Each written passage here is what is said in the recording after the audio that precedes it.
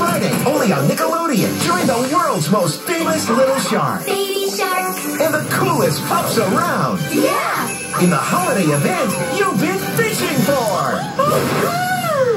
What? Oh, sorry. I meant wishing for. Huh. Makes sense.